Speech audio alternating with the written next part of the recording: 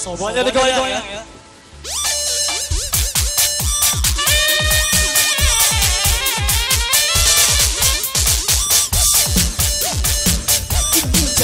Heran anak muda sekarang